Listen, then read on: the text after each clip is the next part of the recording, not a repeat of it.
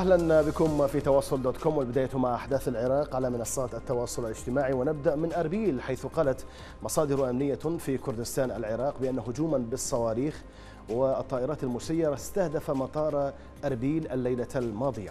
وأوضحت المصادر بأن الهجوم تم باستخدام 20 صاروخا وثلاث طائرات مسيرة ولم يسفر عن وقوع أضرار بشرية أو مادية. من جهته قال مدير مطار أربيل أحمد هوشيار بأن حركة الطيران مستمرة وطبيعية في المطار مؤكدا بأنها لم تتأثر أو تتوقف. أما التحالف الدولي فقال من جانبه بأن الهجوم الذي تعرض له مطار أربيل الدولي تم عبر طائرة مسيرة واحدة وتحدث المتحدث باسم التحالف العقيد واين ماروتو بأن طائرة بأن طائرة واحدة بدون طيار سقطت بالقرب من قاعدة أربيل الجوية. دعونا نشاهد جانبا من آثار القصف والحريق الذي تسبب به هذا القصف في محيط مطار أربيل.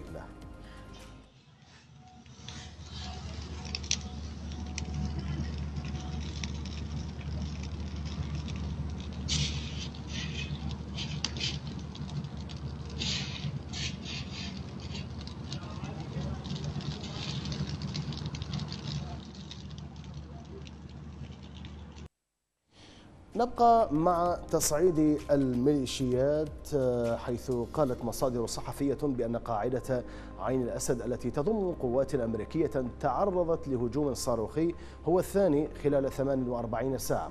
وأوضحت المصادر بأن هجوما استهدف قاعدة عين الأسد غربي محافظة الأنبار مشيرة إلى أن الصواريخ انطلقت من ناحية البغدادي في الأنبار. القوات الأمريكية من جانبها ردت على منصة الصواريخ المستخدمة من قبل الميليشيات في قصف قاعدة عين الأسد وذلك بعد أن تم ركنها بالقرب من جامع البر الرحيم البر الرحيم في ناحية البغدادي. الأمر الذي أدى إلى هدم أجزاء من الجامع ومبنى سكني بالقرب منه. دعونا نتابع هذه اللقطات.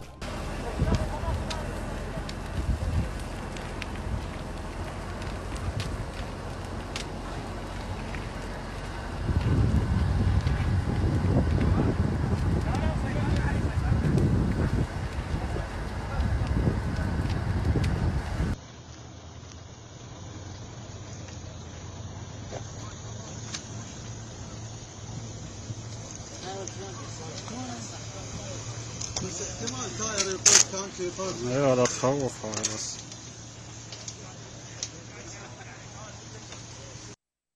الميليشيات لا يهمها وضع هذه الشاحنة المحملة بالصواريخ بالقرب من المسجد ليتضرر المسجد كما شاهدنا. بل أن ناشطين عراقيين قالوا على منصات التواصل الاجتماعي بأن الشاحنة كانت مسروقة كما أن بعض المنازل القريبة من المنصة تضررت أيضا. دعونا نذهب إلى تفاعل الجمهور العراقي حول استمرار مسلسل آه، الصواريخ واستمرار مسلسل الميليشيات وإطلاقها للصواريخ. مصطفى الطيب قال تدرون شنو آه، سوى الميليشيات بالبغدادي أو سوت الميليشيات بالبغدادي يقول ضربوا من البغداد الصواريخ على قاعدة عين الأسد وطفروا.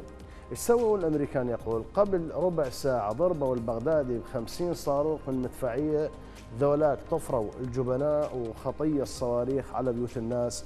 تشوفون إيش قد الميليشيات إرهابية يقول مصطفى. أما عمر فيقول لو صدق نيتهم قصف الجيش الأمريكي كان جابوها ترس بس باتفاق الطرفين يقول مجرد لعبة.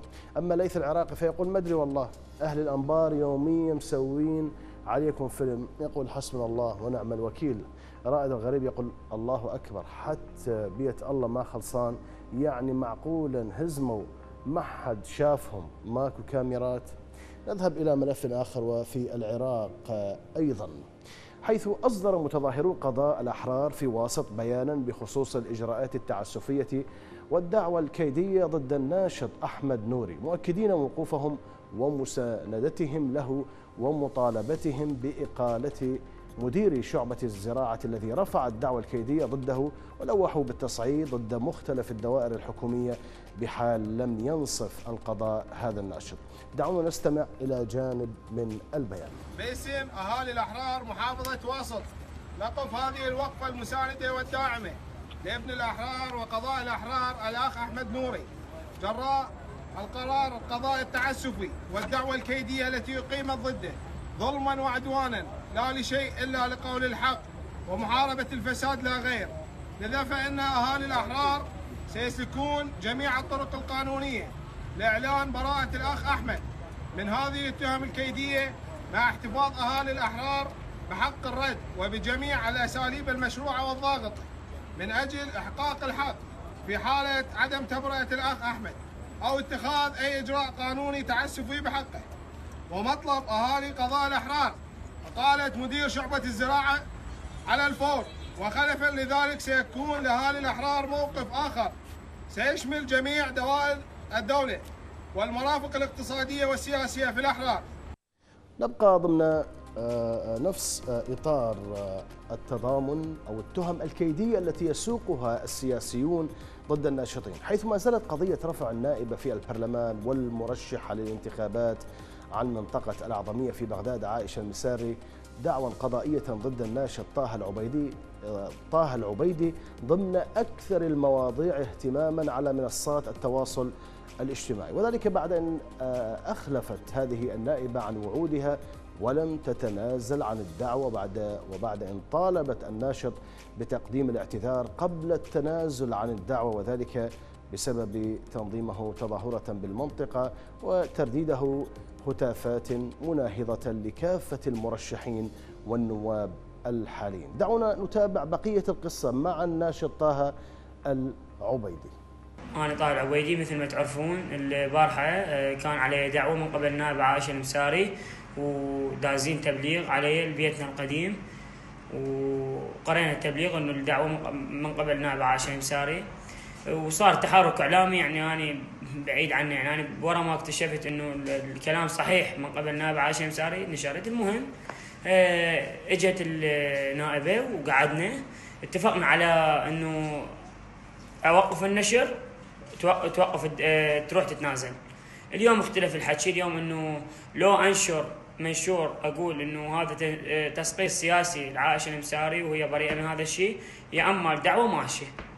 عراقيون ومغردون وناشطون عبروا عن عن تضامنهم مع الناشط طه العبيدي عبر وسم متضامن مع حنجرة التحرير وذلك للتعبير عن وقوفهم معه. دعونا نذهب إلى بعض التغريدات تحت هذا الوسم على منصة تويتر. عبد الرزاق أو عباس عبد الرزاق يقول أخوي الوطني الغيور طه العبيدي لست متضامنا معك فقط بل أثور من أجلك لأنك ثائر حقيقي ومثال للشاب الوطني الشجاع. أما أحمد الفتلاوي فيقول متضامن مع كل حر وطني يقف في وجه السلطة والأحزاب الفاسدة. عباس الطائي يقول صوتك هو القانون الحقيقي ولتذهب قوانين هذه السلطة إلى الجحيم. أما بتول فغررت وقالت هل أصبح الهتاف ضد الفاسدين والقتلة؟ جريمة يحاسب عليها المواطن المسلوبة منه كل حقوقه. نذهب إلى ملف آخر وفي العراق وبالتحديد إلى النجف حيث وجه مجموعة من الناشطين في محافظة النجف رسالة شديدة اللهجة إلى المسؤولين في الحكومة للنظر في حال مرضى السرطان حيث يتم علاجهم في مراكز للأورام على الرغم من أن هذه المراكز تفتقد للأجهزة اللازمة للعلاج مع ارتفاع أجرة جلسات العلاج التي لا يستطيع الفقير دفعها. ولوح الناشطون وهم كل من أبو زين العابدين الحسناوي وأكرم شربة بتصعيد الحراك وبصورة سلمية إذا لم يتم حل هذه المشكلة. فلنتابع. هل يعلم رئيس الوزراء أن مركز الأورام في محافظة النجف اللي يعالجون به مرضى السرطان في النجف والديوانية ومحافظة السماوة؟ ثلاث محافظات قرابة الخمسة مليون عراقي من المصابين بمرضى السرطان يتعالجون في مركز الأورام. هل يعلم رئيس الوزراء منذ خمس ست شهور عاطلة الأجهزة الإشعاعية اللي تحد واللي تعالج مرضى السرطان. هل يعلم رئيس الوزراء ماذا يعاني مرضى السرطان في المحافظات الوسط والفرات الأوسط؟ يدري رئيس الوزراء ووزير الصحة والمسؤولين في هذه المحافظات أن سعر آه، الجلسة الواحدة وصلت 2000 و 3000 4000 دولار. يعني إذا يخلص الكورس مالته يا سيد رئيس الوزراء إذا ما تدري يوصل ثلاث يوصل ثلاث دفاتر واربع دفاتر للمريض الواحد. يعني الناس ما عندها إيجار ما عندها خبزة تاكل منين تجيب مثلا. أكررها المرة الثانية. خمس مسؤولين هم المتهمين بقتل الناس هنا رئيس الوزراء وزير الصحة محافظ النجف طلال بلال المسؤول عن ملف الصحة بالنجف ومدير صحة النجف رضوان الكندي. أي شخص يموت هنا برقبتكم أنتم الخمسة. لأن أنتم الخمسة الوحيدين اللي يقدرون يفتحون المستشفى الألماني وما جاي يفتحوه عارفين الناس تموت هنا. تفاعل الجمهور العراقي حول أوضاع مرضى السرطان في النجف بشكل خاص وفي العراق بشكل عام وحول معاناتهم المستمرة. دعونا نقرأ بعض التعليقات. جعفر مظلوم علق وقال رئيس الوزراء نايم ما يعرف الموت بالجمل بالجملة؟ يقول آه، لعن الله كل سياسي ما عنده غيرة. كرار يقول كلام صحيح وآني ابن خالتي باعوا بيتهم تالي مات الله يرحمه. مواليد 2006 أما أثير فيقول فوق المرض فوق الضيم الناس جاي تعاني أكثر وأكثر. بارك الله بكم لأن حكيتوا وبينتوا الحقيقة. آه، آه، آه، جهازين إشعاع بمستشفى معطلة صار سنين يتساءل ليش. أما حيدر الطائفة يقول السياسيون والمعممون وقسم من مراجع الدين غير مهتمين لأحوال الناس وعلاجهم هم وأبنائهم في خارج العراق والشعب إلى قير وبئس المصير بنظرهم. نذهب إلى ملف آخر ومع غلاء الأسعار.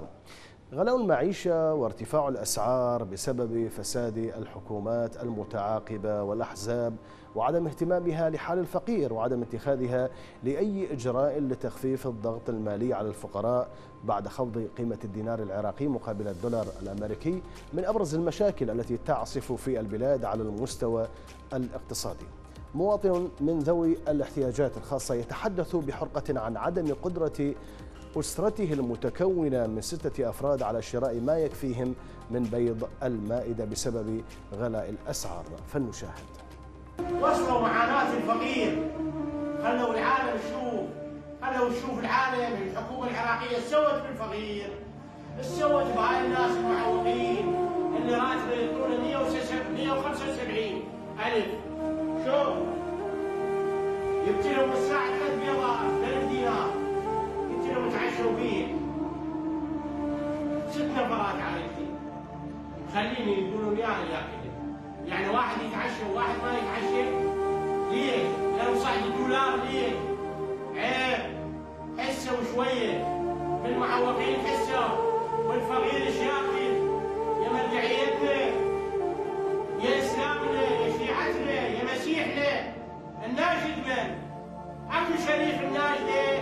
لا ثلاث بيضات بألف دينار الدولار صاعد يفيد الشعب العراقي يفيد الفقير هذا والله ما نتعشين يقولوا ما يكفي نذهب إلى تفاعل الجمهور العراقي حول استمرار ارتفاع الأسعار ونقرأ على منصة فيسبوك. أم عمر علقت وقالت ناشد بس رب العالمين الله يخلصنا من هيك حكومة دمرت وعبثت وخربت وسرقت قوت الشعب. الله ينتقم من كل ظالم. جمال الكويسي يقول حسبنا الله ونعم الوكيل. لا وبعدهم يدورون انتخابات ويدورون يفوزون. إيش قد مستخفين بهذا الشعب؟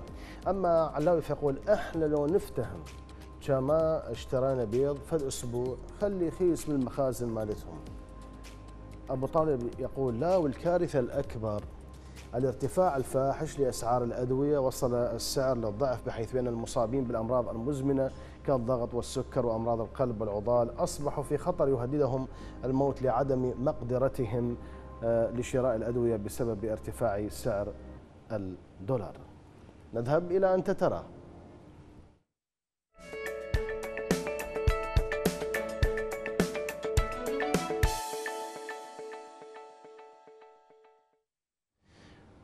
عبر خدمة أنت ترى التي توفرها قناة الرافدين لمشاهديها الأعزاء وصلتنا مناشدة من مواطن عراقي كذلك حول ارتفاع سعر صرف الدولار وتبعاته الاقتصادية على الأسرة العراقية ومتطلباتها المعيشية بالتزامن مع قرب عيد الأضحى المبارك وحاجة الأطفال للملابس الجديدة فضلا عن الأمور الحياتية الأخرى.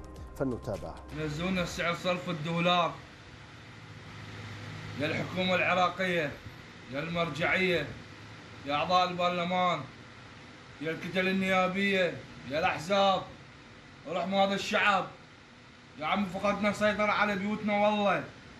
أبو الإيجار يريد أبو المولدة يريد أبو المي يريد أبو الأسواق يريد أبو الصيدلية يريد أبو الإنترنت يريد. يا عمي منين نطي يعني جانا العيد والأطفال تريد منين راح نطي والله العظيم غرقنا بالدين والله.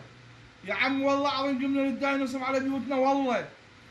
يا عم رواتبنا 220 ألف دينار. والدولار ب 150 ألف دينار. تعال فهموني وقنعوني شلون أسيطر على البيت.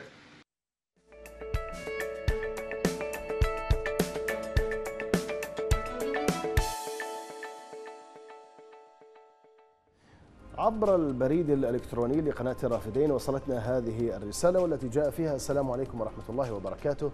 كتلة سائرون عينت أي وظفت آه وظفت النائب ماجد الوائلي في وزارة الخارجية بمنصب سفير وهو لا يزال عضو برلمان لكي يضمنوا له الدرجة الخاصة عندما تنتهي دورته البرلمانية وهذا مخالفة وهذه مخالفة قانونية كيف يعين عضو برلمان بوزارة الخارجية يتساءل بالوقت الذي يعمل فيه موظفو العقود بدون راتب. هذه هي العدالة التي يريدون أن يعيشها العراق بعد أن تصبح رئاسة الوزراء بيدهم علما بأن تسلسله رقم 54 في قائمة المرشحين لدرجة سفير. وقد تضمنت الأسماء مجموعة من الأشخاص المنتمين للعصائب وغيرها من الكتل السياسية.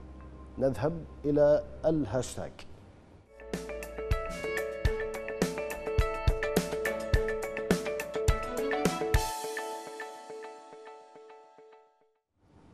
جددت القوات الروسية وقوات النظام السوري القصف المدفعي والصاروخي على جبل الزاوية في ريف إدلب وسهل الغاب المجاور للجبل في شمال غربي سوريا. وقالت مصادر صحفية بأن القصف تجدد على محيط قرية بنين في جبل الزاوية مستهدفة منازل المدنيين والأراضي الزراعية كما قصفت محيط قرية المنصورة في سهل الغاب بريف حما الشمالي مشيرة إلى أن القصف أيضا أسفر عن أضرار مادية. رواد منصات التواصل الاجتماعي تفاعلوا مع التبعات الإنسانية التي خلفها هذا القصف الذي استهدف المدنيين العزل والذي كان ضحاياه من الأطفال والصور المؤلمة للضحايا على وسم إدلب تواجه الإرهاب الروسي الذي تصدر الترند في العالم العربي. دعونا نتابع بعض التغريدات على منصة تويتر تحت هذا الوسم دكتور أحمد موفق زيدان غرد وقال هل هذه فضيحة للإجرام الروسي والإيراني أم فضيحة لإنسانية كاذبة خادعة تواطأ عليها العالم كله قلهم صمتا وخرسا إنهم لا يعترفون بإنسانية هؤلاء؟ أما رانيا سليمان فتقول ألا يشجع الصمت الدولي النظام وروسيا على المضي قدما بإبادة السوريين وتهجيرهم تتساءل أما علاء الدين فيقول صورة شبه يومية من القصف الروسي على ريف إدلب أين المنظمات؟ أين الدول؟ أين القنوات؟ أين أنتم يا دعاة حقوق الطفل والإنسان؟ ما لكم لا تنطقون أما هاشم فغرد وقال اللهم نصرك الذي وعدت فما عادت القلوب تحتمل وما عادت العقول قادرة على النسيان إدلب تواجه الإرهاب الروسي. نذهب إلى القصص المنوعة.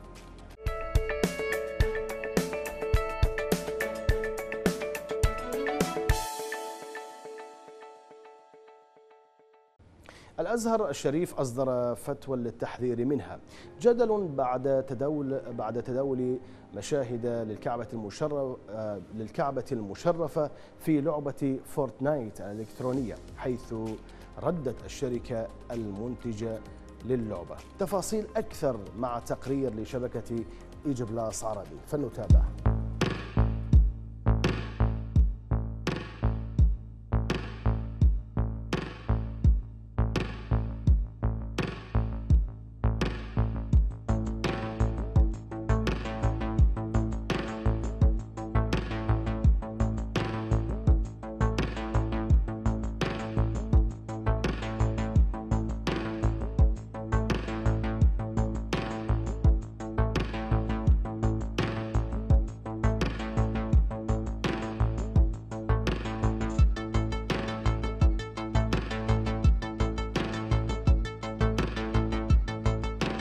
اللي تشوفونه قدامكم هذا في لعبة فورتنايت ما هو فعلا موجود من المطورين نفسهم. هذا عبارة عن شخص باجتهاده سوى بناء للكعبة بنفسه.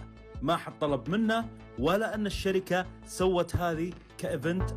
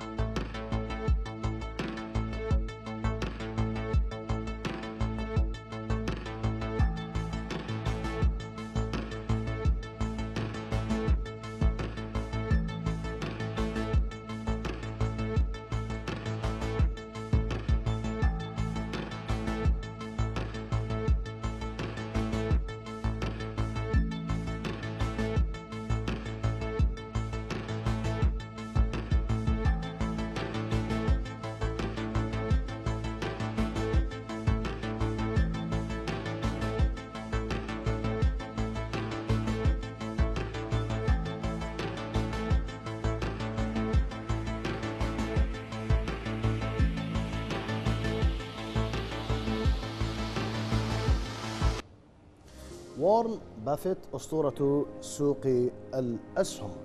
لن يشارك ثروته مع أولاده بل سيتبرع بها للمؤسسات الخيرية. يذكر بأن بافيت يمتلك أكثر من 100 مليار دولار. التفاصيل مع تقرير لقناة سي أن بي سي عربية. فلنتابع.